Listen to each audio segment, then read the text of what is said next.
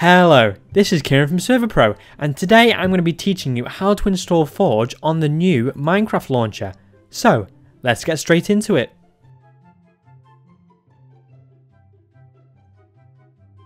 So, the first thing that we need to do is download the installer.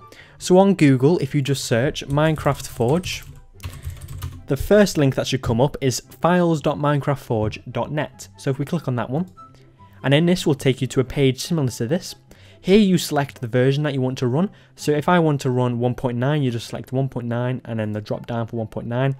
Um, and it's the same for every version. So once you've selected the version you want, click install or win.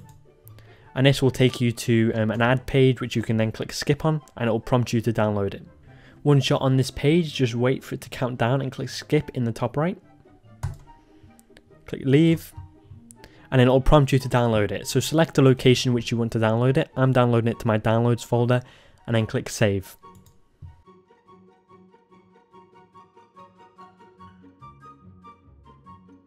Once Forge has downloaded, we'll need to run it to install it. So if you go to your downloads folder and then right click, click open and then we're going to install the client. If there is an option to remove the, um, a thing called Mercurius Updater, um, untick that as it can cause problems. Um, but in this case it doesn't have that, but if it does on yours, just untick it. Then once you've selected that and unticked Mercurius Updater, click OK. And this will begin installing it on your Minecraft version. So once you've done that, click OK. Then if you launch the Minecraft launcher, go to Launch Options, click Add New, then click the version drop down and look for the version of Forge which you just installed. So I installed 1.9, so I'm going to select 1.9 Forge.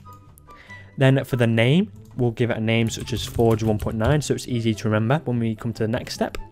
Click Save, and then click the News tab. Click the drop down here, and then scroll to the bottom or anywhere and you should see Forge 1.9 or Forge whatever version you have um, there. So select that then click play and your Minecraft should start up with Minecraft Forge running with the version that you selected. So that's it, it's really simple to do. If you have any problems, feel free to contact our support. There'll be a link to where you can do that in the description down below. Um, and feel free to give us a follow on Twitter, we are running some giveaways if you want some free credits. Um, and feel free also to suggest um, any future tutorials that you'd like to see in the comments down below. So thank you for watching, I hope that you have a fantastic day, goodbye.